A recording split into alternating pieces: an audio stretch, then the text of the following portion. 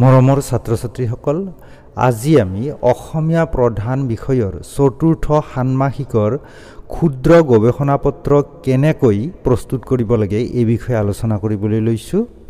অসমীয়া প্ৰধান বিষয়ৰ চতুৰ্থ ষান্মাসিকৰ শিক্ষাৰ্থীসকলৰ কাৰণে পাঠ্যক্ৰমত এখনি ক্ষুদ্ৰ গৱেষণা পত্ৰ প্ৰস্তুত কৰিবলৈ দিয়া হৈছে যাতে ছাত্ৰ ছাত্ৰীসকলে কলেজীয়া জীৱনৰ পৰাই গৱেষণা কাৰ্যৰ বিষয়ে এগৰাকী শিক্ষকৰ তত্বাৱধানত হাতে কামে শিকিব পাৰে। এই গৱেষণা কাৰ্য ঘাইকৈ সমাজ সংস্কৃতি কেন্দ্ৰিক হ'ব লাগে। যাতে শিক্ষাৰ্থীগৰাকীয়ে কিতাপত পঢ়াৰ লগতে ক্ষেত্ৰভিত্তিক অধ্যয়ন কৰি সমাজ আৰু সংস্কৃতিৰ প্ৰতি অধিক আগ্ৰহী হৈ উঠে আৰু ভৱিষ্যতে যাতে গৱেষণা কাৰ্যৰ বাবে অধিক আগ্ৰহী হয়। এই গৱেষণা পত্ৰখনি চাৰিৰ পৰা পাঁচ হাজাৰ শব্দৰ ভিতৰত হ'ব লাগে। এই বিষয়ে বিশ্ববিদ্যালয়ৰ পাঠ্যসূচীত এনেকৈ সন্নিৱিষ্ট আছে। মই এই কথাখিনি উদ্ধৃত কৰি দিছোঁ। এই কাকতখনৰ বাবে ছাত্ৰ ছাত্ৰীয়ে বিভাগীয় শিক্ষকৰ তত্বাৱধানত কোনো বিশেষ স্থান জনগোষ্ঠী উৎসৱ পাৰ্বণ লোকাচাৰ লোক পৰিৱেশ্য কলা লোকসাহিত্য লোকভাষা আদি যিকোনো এটা বিষয়ত ক্ষুদ্ৰ গৱেষণা পত্ৰ প্ৰস্তুত কৰিব লাগিব। গৱেষণা পত্ৰৰ কলেবৰ চাৰি হাজাৰৰ পৰা পাঁচ হাজাৰ শব্দৰ ভিতৰত হ'ব লাগিব। ছাত্ৰ ছাত্ৰীসকল গৱেষণা শব্দটিৰ অৰ্থ প্ৰসংগত ডক্টৰ নগেন শইকীয়াদেৱে কৈছে গৱেষণা শব্দটোৰ অৰ্থ হ'ল বিচৰা বা অনুসন্ধান কৰা। এই অৰ্থত এই সংস্কৃত শব্দটোৰ ব্যৱহাৰ ঋগবেদৰ সময়ৰ পৰা পোৱা গৈছে। দেখা যায় প্ৰথম অৱস্থাত শব্দটোৰ অৰ্থ গোলাভৰ আকাংক্ষা আছিল যদিও শেষলৈ গোলাভৰ বাবে কৰা যুদ্ধৰ আকাংক্ষা আৰু গো অপহৰণকাৰীসকলক বিচাৰি উলিয়াই যুদ্ধত ঘটোৱাই অপহৃত গৰু ঘূৰাই অনাৰ আকাংক্ষাও শব্দটোৱে বুজাবলৈ ল'লে। নগেন শইকীয়াক গৱেষণা পদ্ধতি পৰিচয় পৃষ্ঠা এক। গৱেষণাৰ পদ্ধতি। গৱেষণা কাৰ্যত আগবাঢ়োতে শিক্ষাৰ্থীসকলে বিভিন্ন পদ্ধতিৰ ভিতৰত বিষয়বস্তু অনুসৰি যিকোনো এটা পদ্ধতি অৱলম্বন কৰিব পাৰে। সেয়া হ'ল পৰিচয়মূলক ঐতিহাসিক বিশ্লেষণাত্মক সমীক্ষাত্মক তুলনামূলক আৰু সমাজতত্বমূলক। পৰিচয়মূলক পদ্ধতিত কোনো এটা বিষয়ৰ সকলো দিশ খৰচি মাৰি বিজ্ঞানসন্মত পদ্ধতিৰে অধ্যয়ন কৰা হয়। আৰু তাক অধ্যয়নৰ বিষয় হিচাপে প্ৰতিষ্ঠা কৰা হয়। ঐতিহাসিক পদ্ধতিত অধ্যয়নকাৰীয়ে কোনো এটা বিষয়ৰ ইতিহাসৰ পটভূমি আৰু তাৰ ক্ৰমবিকাশ বা ক্ৰম পৰিৱৰ্তনৰ বিষয়ে অধ্যয়ন কৰে। বিশ্লেষণাত্মক পদ্ধতিত গৱেষকে কোনো এটা বিষয়ৰ প্ৰণালীবদ্ধভাৱে বিশ্লেষণ কৰি কোনো এটা সিদ্ধান্তত উপনীত হয়। সমীক্ষাত্মক অধ্যয়নত গৱেষকে প্ৰাপ্ত তথ্যসমূহৰ বিচাৰ বিশ্লেষণ কৰি বিষয়টোৰ উপযুক্ত স্বৰূপ দাঙি ধৰিবলৈ চেষ্টা কৰে। তুলনামূলক অধ্যয়নত গৱেষকে নিৰ্বাচিত বিষয়টোৰ সমগোত্ৰীয় আন এটা বিষয়ৰ সৈতে তুলনামূলক বিচাৰ বিশ্লেষণ কৰি তাৰ গুণাগুণ নিৰ্ধাৰণ কৰে। সমাজতাত্ত্বিক অধ্যয়নত বিষয়টোৰ সৈতে জড়িত সমাজখনৰ সকলো দিশৰ পুংখানুপুংখ আলোচনা কৰা হয়।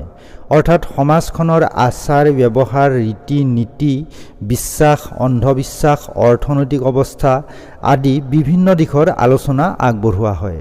এতিয়া এই বিষয়টো ছাত্ৰ ছাত্ৰীসকলে কেনেকৈ নিৰ্বাচন কৰিব এই বিষয়ে ক'বলৈ ওলাইছোঁ।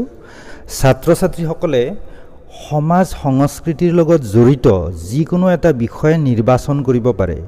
সমগ্ৰ অসম ভাষা সংস্কৃতিৰ যাদুঘৰ স্বৰূপ। ইয়াত বিভিন্ন প্ৰকাৰৰ জাতি জনজাতিয়ে বাস কৰে। বড়ো ৰাভা কাৰ্বি মিচিং লালুং ফাকিয়াল আহোম মৰাণ নেপালী বঙালী বিহাৰী মুছলমান চাহ জনগোষ্ঠী আদি অনেক লোকৰ বাসভূমি। প্ৰত্যেক জাতি উপজাতিৰে নিজা নিজা ভাষা সংস্কৃতি লোকবিশ্বাস ধৰ্মবিশ্বাস লোকগীত জন্ম বিবাহ মৃত্যু সম্পৰ্কীয় আচাৰ আচৰণ কৃষি প্ৰণালী খাদ্য প্ৰণালী ৰন্ধন প্ৰকৰণ বস্ত্ৰ প্ৰস্তুতকৰণ গৃহ নিৰ্মাণ লোক ঔষধ তন্ত্ৰ মন্ত্ৰ আদি অনেক অধ্যয়নযোগ্য বিষয় আছে। ইয়াৰ লগতে সমগ্ৰ অসম জুৰি আছে শৈৱ শাক্ত বৈষ্ণৱ ধৰ্মৰ অনেক মঠ মন্দিৰ দৌল দেৱালয় স্থাপত্য ভাস্কৰ্য থান সত্ৰ নামঘৰ থলুৱা লোক অনুষ্ঠান লোকগীত সামাজিক আচাৰ অনুষ্ঠান আদি। ইয়াৰে যিকোনো এটা বিষয় শিক্ষাৰ্থীসকলে নিৰ্বাচন কৰি ল'ব লাগে। বিষয়টো নিৰ্বাচন কৰোঁতে মন কৰিব লাগে যে ইয়াৰ পৰিসৰ যাতে বৃহৎ নহয়। উদাহৰণস্বৰূপে অসমৰ প্ৰাচীন মঠ মন্দিৰ। এই বিষয়টোৰ পৰিসৰ বহুত ব্যাপক। ইয়াক পি এইচ ডি ডিগ্ৰীৰ গৱেষণা পত্ৰৰ বিষয় হিচাপে হয়তো গ্ৰহণ কৰিব পাৰি। কিন্তু এই গৱেষণা পত্ৰখনিৰ পৰিসৰ যিহেতু চাৰিৰ পৰা পাঁচ হাজাৰ শব্দৰ ভিতৰত সেয়েহে এনে ব্যাপক পৰিসৰৰ বিষয় নিৰ্বাচন নকৰি কোনো এটা অঞ্চলত অৱস্থিত মন্দিৰৰ বিষয়ে অধ্যয়ন কৰা উচিত। সেইদৰে সমগ্ৰ অসমৰ লোকগীতৰ বিষয়টিক সামৰি নলৈ কোনো এটা সৰু অঞ্চলক নিৰ্বাচন কৰি ল'ব লাগে। বিষয়টি নিৰ্বাচন কৰি লোৱাৰ পাছত আহে তথ্য সংগ্ৰহৰ কাম। তথ্যৰ উৎসক তিনিটা ভাগত ভাগ কৰা হয়। সেয়া হ'ল প্ৰাথমিক বা প্ৰথম গৌণ বা দ্বিতীয় আৰু সৰ্বনিম্ন বা তৃতীয় উৎস। প্ৰাথমিক উৎসৰ ভিতৰত ক্ষেত্ৰ অধ্যয়নত লাভ কৰা তথ্য পাতি সন্নিৱিষ্ট কৰা হয়। বিষয়টিৰ লগত জড়িত ব্যক্তিৰ সাক্ষাৎ গ্ৰহণ শিলালিপি ভাস্কৰ্য স্থাপত্য সাঁচিপাতৰ পুথি আদিক প্ৰথম শ্ৰেণীৰ উৎস হিচাপে গ্ৰহণ কৰিব পাৰি।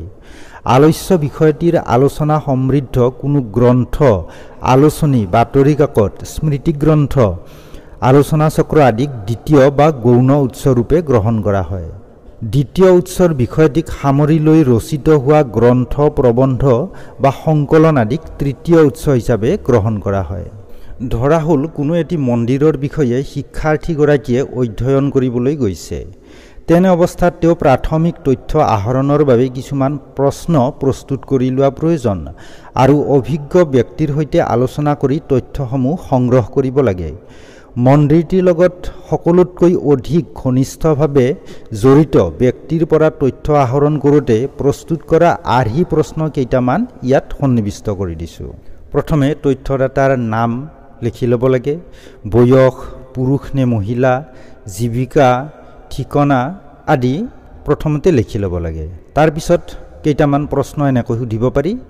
আপুনি এই মন্দিৰটোৰ সৈতে কিমান বছৰ ধৰি জড়িত হৈ আছে? কেতিয়া এই মন্দিৰটো প্ৰতিষ্ঠিত হৈছিল আৰু কোনে কৰিছিল? মন্দিৰ সম্পৰ্কীয় কিবা কিংবদন্তী প্ৰচলিত আছে নেকি? যদি আছে কেনেকুৱা? কোন দেৱ দেৱীৰ পূজা কৰা হয়? শাক্ত শৈৱ বৈষ্ণৱ বৌদ্ধ মন্দিৰ নে আন কিবা? পূজাৰ পদ্ধতি কেনেকুৱা?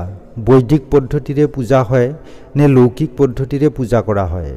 বছৰত কি কি উৎসৱ ইয়াত পালন কৰা হয়? কোন কোন অঞ্চলৰ আৰু কোন কোন সম্প্ৰদায়ৰ মানুহ এই মন্দিৰলৈ আহে? ধৰ্মীয় অনুষ্ঠানৰ বাহিৰে আৰু আন কিবা সামাজিক অনুষ্ঠান ইয়াত পালন কৰা হয় নেকি? যদি হয় কেনেকুৱা? মন্দিৰৰ পৰিচালনা কেনেধৰণে হয়? ইয়াৰ পৰিচালনাৰ খৰচ কোনে বহন কৰে? মন্দিৰটিৰ নিৰ্মাণ শৈলী কি? কোন ৰজাৰ দিনত ইয়াক নিৰ্মাণ কৰা হৈছিল? ইয়াত কোন দেৱ দেৱীৰ বিগ্ৰহ প্ৰতিষ্ঠা কৰা হৈছে? মন্দিৰত সংৰক্ষিত কোনো প্ৰাচীন সাঁচিপতীয়া পুথি আছে নেকি?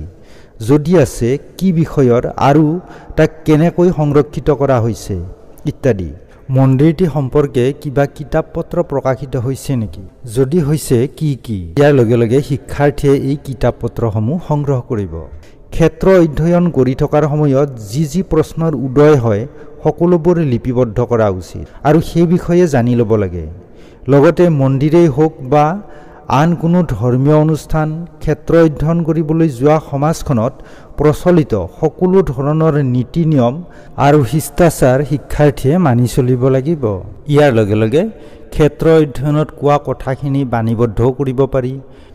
বিষয়টিৰ লগত জড়িত সকলো ধৰণৰ ফটো শিক্ষাৰ্থীসকলে গ্ৰহণ কৰিব কিন্তু ফটো লোৱাৰ আগতে সংশ্লিষ্ট কৰ্তৃপক্ষৰ পৰা অনুমতি ল'ব লাগে।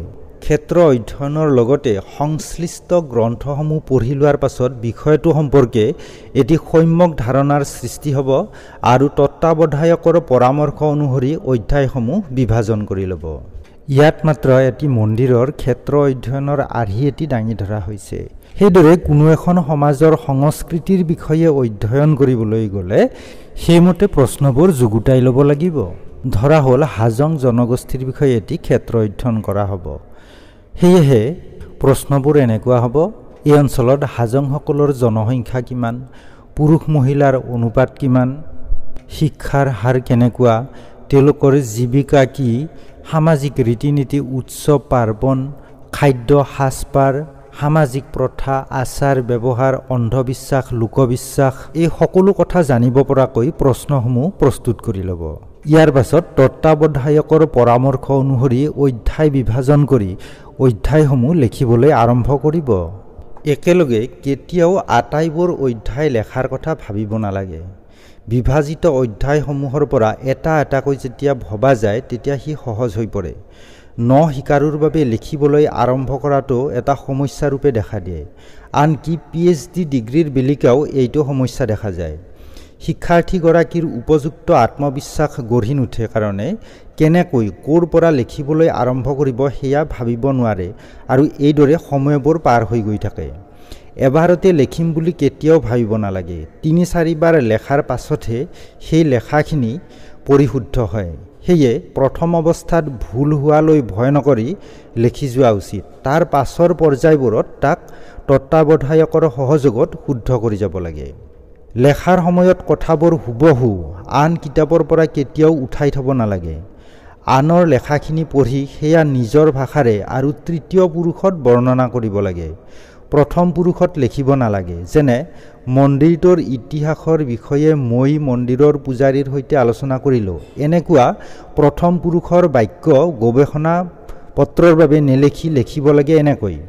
মন্দিৰটোৰ ইতিহাসৰ বিষয়ে মন্দিৰৰ পূজাৰীৰ সৈতে আলোচনা কৰা হ'ল। কোনো ধৰণৰ আৱেগযুক্ত আৰু পক্ষপাতমূলক বাক্যৰ প্ৰয়োগ কৰিব নালাগে। গৱেষকে সদায় নিৰপেক্ষভাৱে কাৰো দ্বাৰা প্ৰভাৱিত নোহোৱাকৈ বাক্যবোৰ লিখিব লাগে। নামৰ আগত ব্যৱহাৰ কৰা সন্মানসূচক বিশেষণবোৰো গৱেষণাৰ বাক্যত পৰিহাৰ কৰা হয়। যেনে বিশ্বৰত্ন ডক্টৰ সুধাকণ্ঠ ভূপেন হাজৰিকাদেৱ নেলেখি অকল ভূপেন হাজৰিকা বুলি লেখা হয়। সংগৃহীত তথ্যসমূহ পৰীক্ষা নকৰাকৈ লিখিব নালাগে। নিজে যিটো সিদ্ধান্তত উপনীত হয় সেই সিদ্ধান্তকো তেওঁ প্ৰশ্ন কৰিব লাগে। অপ্ৰাসংগিক কোনো কথা ইয়াত উল্লেখ কৰিব নালাগে। কোনো গ্ৰন্থৰ পৰা উদ্ধৃতি প্ৰয়োগ কৰিলে সেই গ্ৰন্থৰ লেখকৰ নাম পৃষ্ঠা সংখ্যা প্ৰকাশক আৰু প্ৰকাশৰ চন উল্লেখ কৰিব লাগে। এই কথাখিনি ফুটনোট হিচাপে লেখা পৃষ্ঠাটোৰ তলত উল্লেখ কৰা হয়। নাইবা ব্ৰেকেট নোট হিচাপেও দিব পাৰি। উদাহৰণস্বৰূপে এটা উদ্ধৃতিৰ কথা কৈছোঁ। এতেকে গৱেষণাৰ ভাষা আৰু প্ৰকাশভংগী সম্পূৰ্ণ নৈৰ্ব্যক্তিক হ'ব লাগে। তথ্য যুক্তি আৰু সিদ্ধান্ত সৰল আৰু পোনপটীয়াকৈ প্ৰকাশ কৰাৰ বাবে ভাষা ইয়াত মাধ্যম মাত্ৰ। যিহেতু এখন গৱেষণা গ্ৰন্থৰ যোগেদি কোনো এটা সত্য বা কোনো এটা বিষয়ৰ জ্ঞান প্ৰকাশ কৰা হয় ইয়াৰ ভাষাত কোনো প্ৰকাৰৰ ব্যৰ্থতা থাকিব নালাগিব। নগেন শইকীয়া গৱেষণা পদ্ধতি পৰিচয় কৌস্তুভ প্ৰকাশন ডিব্ৰুগড় প্ৰকাশৰ চন দুহেজাৰ পাঁচ পৃষ্ঠা সংখ্যা বাইছ। ফুটনোট বা ব্ৰেকেট নোট দিওঁতে এখন গ্ৰন্থৰ বিষয়ে এইকেইটা তথ্য সন্নিৱিষ্ট হ'ব লাগে। ক লেখকগৰাকীৰ সম্পূৰ্ণ নাম খ লেখকগৰাকীৰ নামৰ পাছত এটি কমা দি গ্ৰন্থখনিৰ নাম গ শেষত পৃষ্ঠা সংখ্যা উল্লেখ কৰিব লাগে। কোনো লেখকৰ ছদ্মনাম থাকিলে বন্ধনীৰ ভিতৰত আচল নামটো উল্লেখ কৰিব লাগে। যেনে কৃপাবৰ বৰুৱা ব্ৰেকেটৰ ভিতৰত থাকিব লক্ষ্মীনাথ বেজবৰুৱা। এখন গ্ৰন্থৰ একাধিক লেখক থাকিলে প্ৰতিগৰাকী লেখকৰ নাম উল্লেখ কৰিব লাগে। সম্পাদিত গ্ৰন্থ হ'লে সম্পাদকৰ নাম আৰু নিবন্ধ লেখকৰ নাম লিখিব লাগে। একেখন গ্ৰন্থৰ পৰা একেৰাহে দুবাৰ বা তাতোধিক উদ্ধৃতি দিব লাগিলে প্ৰতিবাৰে নাম উল্লেখ নকৰি প্ৰাগুক্ত গ্ৰন্থ বুলি লিখিব লাগে। লেখকৰ প্ৰথমে উপাধিটো লিখি তাৰপিছত নাম লেখা হয়। যেনে নিয়োগ মহেশ্বৰ শ্ৰী শ্ৰী শংকৰদেৱ পৃষ্ঠা আঠচল্লিছ।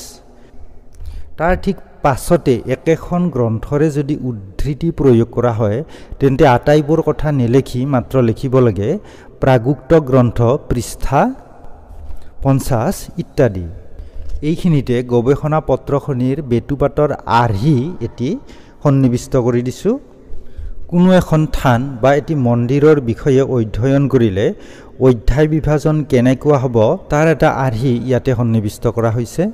প্ৰথমে থাকিব বেটুপাত তাৰপিছত তত্ত্বাৱধায়কৰ প্ৰমাণপত্ৰ সূচীপত্ৰ ক্ষেত্ৰ অধ্যয়নৰ মানচিত্ৰ সাংকেতিক চিহ্নৰ তালিকা অৱতৰণিকা অসমৰ মঠ মন্দিৰৰ চমু ইতিহাস আলস্য মন্দিৰটোৰ ইতিহাস। ইয়াত এইকেইটা কথা সন্নিৱিষ্ট কৰিব স্থাপত্য ভাস্কৰ্য সংৰক্ষিত প্ৰাচীন পুথি ইত্যাদি।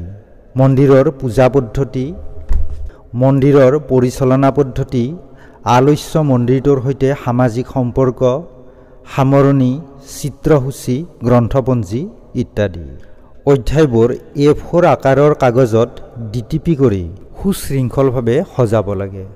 কোনো শিক্ষাৰ্থীৰ হাতৰ আখৰ ভাল হ'লে হাতেৰেও লিখিব পাৰে। বেটুপাতত বিষয়টোৰ শিৰোনাম কি উদ্দেশ্যৰে এই গৱেষণা পত্ৰখনি প্ৰস্তুত কৰা হৈছে তাৰ উল্লেখ থাকিব। মহাবিদ্যালয়ৰ প্ৰতীক থাকিব। প্ৰস্তুতকৰ্তাৰ নাম তত্ত্বাৱধায়কৰ নাম শিক্ষাৰ্থীৰ বিশ্ববিদ্যালয়ৰ ৰোল নম্বৰ পঞ্জীয়ন নম্বৰ আদি লিখিব লাগে। মনত ৰখা অতি দৰকাৰ যে বিশ্ববিদ্যালয়ৰ ৰোল নম্বৰ আৰু পঞ্জীয়ন নম্বৰ কোনো কাৰণতে ইংৰাজীৰ বাহিৰে আন ভাষাত লিখিব নালাগে। অসমীয়াত লিখিবলৈ গ'লে চাৰি আৰু আঠৰ মাজত বিভ্ৰান্তিৰ সৃষ্টি হৈ পৰীক্ষাৰ্থীয়ে ৰিজাল্টৰ সময়ত বহুত বিপদত পৰা দেখা যায়।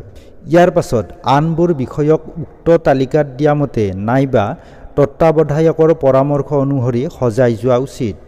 বিষয়বস্তুৰ ভিন্নতা অনুসৰি বিষয়বোৰ সজোৱাৰ ক্ষেত্ৰত হয়তো অলপ ইফাল সিফাল হ'ব পাৰে। সামৰণিত আটাইকেইটা অধ্যায়ৰ চমু পৰিচয় দাঙি ধৰি এই অধ্যায়টোৰ পৰা শিক্ষাৰ্থীগৰাকীয়ে কি ফল লাভ কৰিলে তাৰ উল্লেখ কৰিব। গোটেই গ্ৰন্থখন নপঢ়াকৈ অকল সামৰণিৰ কথাখিনি পঢ়ি ভিতৰৰ লেখাখিনিৰ এটি সম্যক ধাৰণা কৰিব পাৰিলে ভাল হয়। সমগ্ৰ কামটোতেই শিক্ষাৰ্থীগৰাকীৰ নিষ্ঠা উপযুক্তভাৱে কষ্ট কৰাৰ মানসিকতা পৰিষ্কাৰ পৰিচ্ছন্নতা আদি প্ৰকাশ পাব লাগে।